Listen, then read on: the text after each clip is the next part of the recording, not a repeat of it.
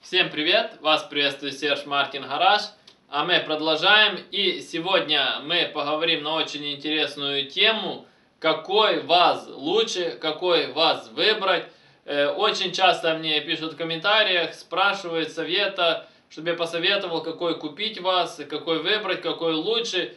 И сегодня я вам расскажу, и по итогу видео вы узнаете, какой из автомобилей вас за все года все-таки я считаю, и я сейчас приведу весомые аргументы, почему этот автомобиль лучше.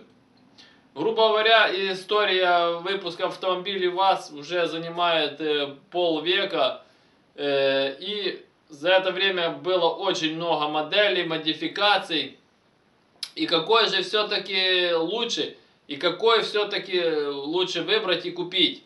И мы пойдем методом исключения, то есть я буду откидывать вазы, и по такой степени, как я их буду откидывать, э, вот так сказать, это будут низшие позиции. И в первую очередь у нас отлетают это все ВАЗ-классики, э, все заднеприводные, то есть от копейки до семерки.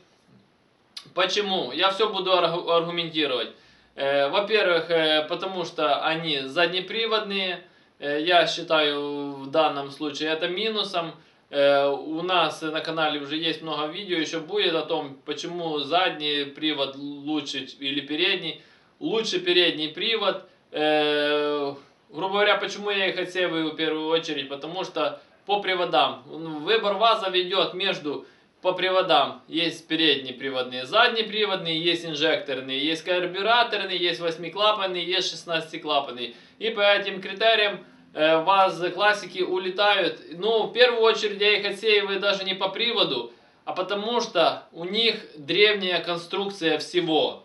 Двигатель древний, то есть там и древняя масляная система ненадежная, и э, даже там конструкция головки блока, там древние ракера, древняя цепь, то есть, э, соответственно, ну понятно, там карбюратор можно поставить более современный, ну сам по себе двигатель древний. Э, что касается инжекторных двигателей, та же самая ситуация. За полвека производства их ничего не поменялось. Э, двигатель как был, в нем конструктивно ничего не изменилось, он как был древний и, грубо говоря, по факту ненадежный. Э, также вся остальная конструкция, что подвески, э, что трансмиссии, все древние и ненадежные, поэтому они сразу отлетают. Почему задний привод и почему я отдаю предпочтение переднему приводу? Ну, не то, что я отдаю предпочтение, почему передний лучше, об этом еще будет у нас детальное видео. Но э, скажу так, во-первых, у переднего привода меньше потерь на трансмиссии, то есть больше мощности сохраняется, до колес доходит. И по проходимости они в любом случае лучше. Поехали дальше. ВАЗ классики улетели. Остаются у нас переднеприводные ВАЗы. Э, теперь пошли дальше по э, такому критерию, как инжектор или карбюратор. На канале очень много видео было, а чё, что лучше, карбюратор или инжектор. Давайте, э, по какому основному критерию я буду их отсеивать. Э, я считаю, что карбюратор лучше. Почему? Потому что именно в наших реалиях большинство населения, которое ездит на ВАЗах, э, живут, ну, как и большинство вообще людей, живут в сельской местности, в поселках. Да даже и те, кто живут в городах, все равно нет нормальных мастеров, Э, карбюраторных. Э, а тех, кто живут э, далеко от городов, где есть нормальные инжекторные мастера, карбюратор вас всегда довезет. Будет чихкать, пыхкать, но он довезет. Карбюратор очень простой сам по себе, ничего там нет сложного. А чем конструкция проще, тем и надежнее. Это так же самое, почему переднеприводные вазы лучше, чем заднеприводные. Потому что у них конструкция даже той подвески проще и, надежнее, что конструкция двигателя, того же масляного насоса, э, той же головки блока, той же ходовой там однорычажной, все намного проще. Даже если сравнивать, опять же, ВАЗ классику и переднеприводные вазы, у вас классики два рычага на сторону, у переднеприводных один, у две шаровые, у переднеприводные одна, э, по одному рулевому наконечнику переднеприводных, у вас классики на одну сторону их три, то есть, а чем конструкция сложнее, тем она менее надежна.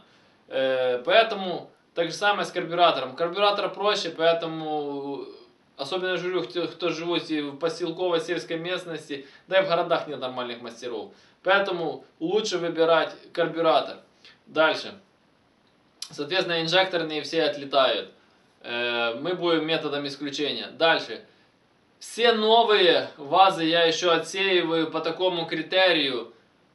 Кузов всех новых вазов, будем так примерно говорить, э, где-то после 2005 года кузова пошли уже очень слабые, то есть э, иногда можно там какую-то э, жигу взять 90-го года, она будет по состоянию кузова э, лучше, чем та, что 2010 года. То есть, ну понятно, состояние экспло... э, машины экспло... от ее эксплуатации условий зависит. Ну, я в общем говорю, что очень сильно быстро сгнивают э, современные вазы. Качество металла не то, обработка уже не та, поэтому я их отсеиваю тоже. Дальше поехали. Ставим на весы 8-клапанник или 16-клапанник. Также на канале есть очень куча много видео, а, там сравнение 8-клапанник или 16-клапанник. Отдавайте предпочтение 8-клапаннику. Конструкция более простая, более надежная и более дешевая в обслуживании. И поэтому ее про проще и использовать. И кому интересно, на канале очень много есть видео. На главной странице моего канала жмите на все видео. И там найдете ответы на все свои вопросы об этом всем детально. И что у нас остается в остатке? Передний привод, э, восьмиклапанник, карбюратор. Что из этого у нас есть? Это у нас восьмерки, девятки, 99-ки, десятки и двенашки. Десятку и двенашку я отсею по тому критерию, э, что у них лишний вес, они тяжелее, то есть они, э, машина тяжелее относительно восьмерок и девяток, и, соответственно, получается нагрузка больше на все, то есть на ходовую, на двигатель, на трансмиссию, то есть при том, что изначально это все не было рассчитано на такую массу. Что у нас остается в финале? Восьмерка, девятка, девяносто девятка. Что из этих машин, это топ-3 в финал выходит. Э, третье место я отдаю 99-ке. По какой причине? Э, почему не восьмер... она хуже, чем восьмерка и девятка?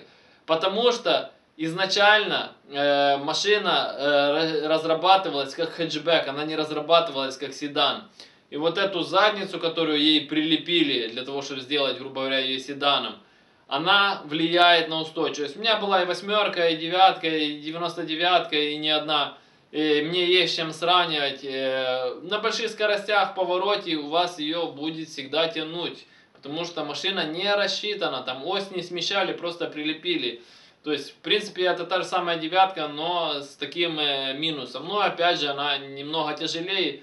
Плюс развесовка ее уходит назад. Уже не та загрузка передней оси. Это влияет и на проходимость, и на управляемость. Есть небольшие минусы, поэтому третье место. Финал. Первое, второе место. Э, хоть и я езжу на восьмерке и любитель восьмерки, но у меня, конечно, и девятка есть. Я все-таки второе место отдаю восьмерке, а первое место отдаю девятке. Почему так? Потому что э, восьмерка, как ни крутите, это двухдверная машина. Э, это не всегда практично, особенно если у вас там э, надо кого-то возить. Стань я сяду. То есть, грубо говоря, по факту восьмерка и девятка это две одинаковых машины.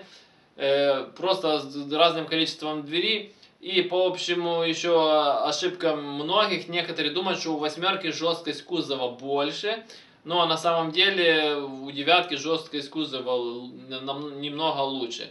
Поэтому в финал выходит девятка, и я считаю, что девятка э, на восьмиклапаннике, на карбюраторе, это самая удачный ВАЗ, и я всем советую его покупать, как э, машину, которая что вы в итоге получаете? Очень простую надежную ходовую, очень простой и надежный двигатель, грубо говоря, неубиваемый, потому что там нечему ему убиваться, там можно ездить, ездить и без масла, и на отработке, и так само коробка неубиваема, кузов Тоже, допустим, в отличие от э, двенашек и десяток, у девятки крепче кузов.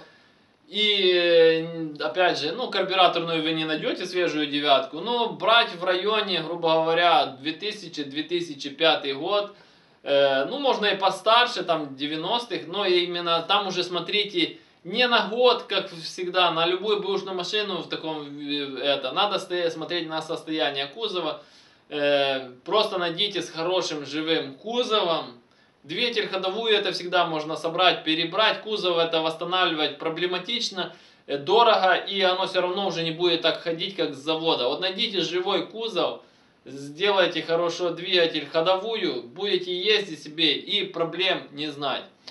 Кому понравилось данное видео, ставьте лайки, подписывайтесь на канал, кто еще не подписался, жмите на колокольчик, чтобы получать уведомления о новых видео. Всем спасибо за внимание, всем до свидания.